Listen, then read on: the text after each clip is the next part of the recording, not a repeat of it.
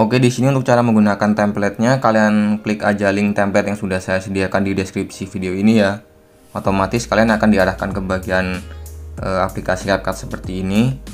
Nah, jika sudah di bagian seperti ini, kalian klik aja gunakan template. Nah, lalu di sini kalian masukkan aja mentahan video kalian ya. Untuk durasi mentahan videonya itu 30 detik ya. Nah, di sini kan ada tulisan pilih 29 klip ya. Di sini kalian klik aja mentahan video kalian ya sebanyak 29 kali. Contohnya saya pakai video yang ini. Pokoknya kalian klik aja sampai 29 kali atau sampai klipnya penuh ya. Nah, jika sudah penuh seperti ini kalian klik aja perhatiin jauh. Nah, otomatis untuk hasil videonya kurang lebih akan seperti ini.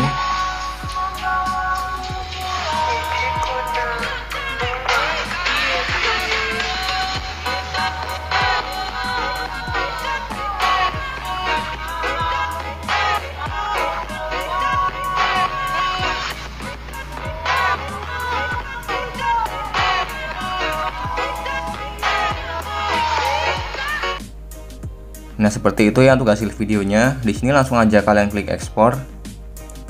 Nah, kemudian kalian pilih yang bagian atas ya, yang ekspor tanpa tanda air agar logo CapCut-nya hilang ya. Nah, di sini jika kalian diarahkan ke aplikasi TikTok, kalian bisa keluar aja ya. Otomatis videonya sudah tersimpan ke galeri kalian jika prosesnya sudah selesai.